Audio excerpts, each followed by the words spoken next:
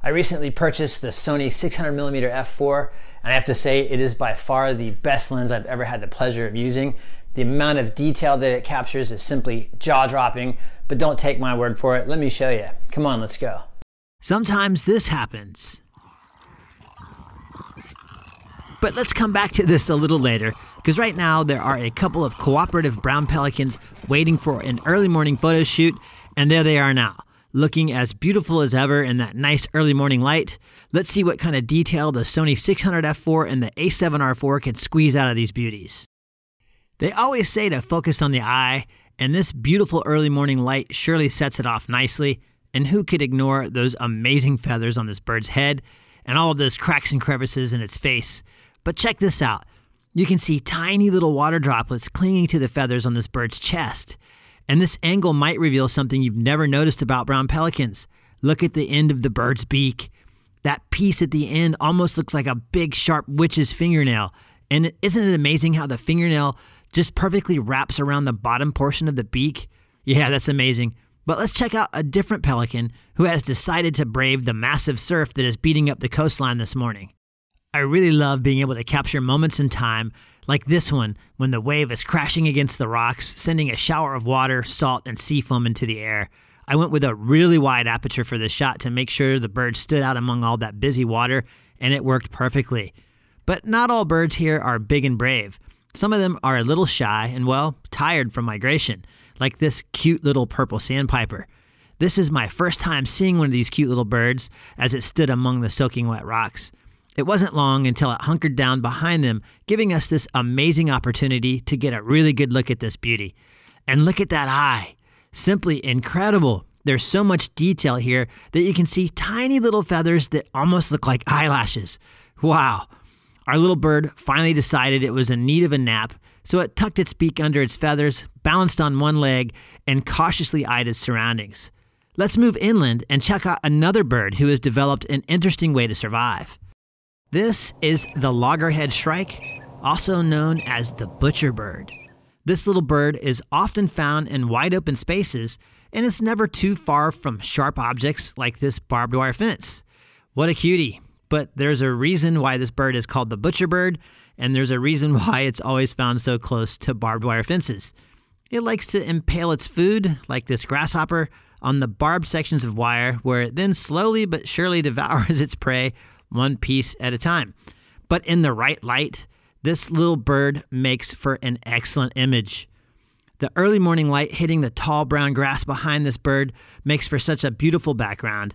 And then the orange light reflecting off of this bird's beak is simply incredible. And look at the shape of that beak. Just truly amazing. And who could miss that sunrise reflected in the bird's pitch black eye? But this bird wasn't the only hungry bird in the area. There was also this beautiful female red shouldered hawk whose prize catch was a black racer. The first thing you might notice about this raptor, other than its amazing beauty, is the bird's left eye. I have photographed this bird in the past, and it looks to be some type of injury, but that injury hasn't prevented her from catching and feasting on snakes. If anything, her injured eye just shows us how resilient she is, and it adds a little mystery to the bird's background. All right, let's head to another spot not far away where another unique bird is ready for a photo shoot. This is a limpkin, an amazing wading bird that eats snails and freshwater mussels. And here it comes now with a nice fresh catch. Let's take a closer look. Whoa, you can even see some dirt floating in the water drop that's clinging to that mussel. Talk about microcosmos. What an amazing world we live in. And a little further up, we get such a detailed glimpse into this bird's face that you can see each individual water droplet in perfect clarity. And don't forget the beautiful glint in this bird's eyes, the sun and its reflection on the surface of the water, making for a nice double catch light. That's just incredible. And behind me in a tree, we have this beautiful little blue gray gnatcatcher. Again, such incredible detail here, especially when you consider this bird's size. It's only about three inches or 10 centimeters long. This is a little tiny bird. It's really hard to photograph these things. All right, let's head back to our feeding frenzy over in the salt marsh and see what we can find along the way. Ah, yeah, my favorite bird enjoying the early morning hours in an old pine tree. These two shots were shot using the 600 f4 and the Sony 1.4 teleconverter, giving me an effective focal length of 840 millimeters. and it captures just an amazing amount of detail. Oh, and every shot in this video was shot handheld. I didn't use a tripod. Just simply stunning that you can handhold this 600 millimeter lens. And down below, we have this awesome tricolor heron who seems to be reflecting on the future. And right next door, we have this lovely little blue heron who's also busy reflecting on things and who could pass up this water slinging reddish egret who's prone to sudden outbursts of dance and amazingly graceful wing displays that rival all other birds in the area. The reddish egret is quite the show off, and I'll never miss the show, even when it starts to wind down. I opened up the aperture in this shot to f4, and the bokeh is just so nice. Man, I really like everything about this shot the light, the color, the clarity, the contrast, and the detail. The bird just pops right off the background. Amazing. All right, let's head back to that craziness and that little pocket of water way in the back. there they are. What a spectacle of birds. It's like a, a feeding frenzy going on here. It's no really rhyme or reason to any of it. but it's quite the show. so, what do you do when you're presented with something like this? Well, of course, you sit back and enjoy the ongoing hilarity, but you also use the opportunity to get some amazing close up portraits, like this snowy egret, who seems a little surprised at all the action going on here. Look at those eyes all bugging out like that. But once it finds a nice place among the mangroves, we get a better look at its elegant beauty. Again, I went with a wide open aperture of f4 to get some good isolation between the bird and the busy background, and it worked like a charm. But stopping down to f8 didn't quite give me enough depth of field to capture this entire wood stork's wild looking head along with his beak. Had I stopped down a little more, maybe f10, I think I would have been able to have gotten the bird, its beak, and the minnow in perfect focus. But lesson learned, man, when you're this close with a 600 millimeter, you really gotta pay close attention to the aperture. And talk about sticking your neck out for the shot. This great egret surely knows how to reach into the shot.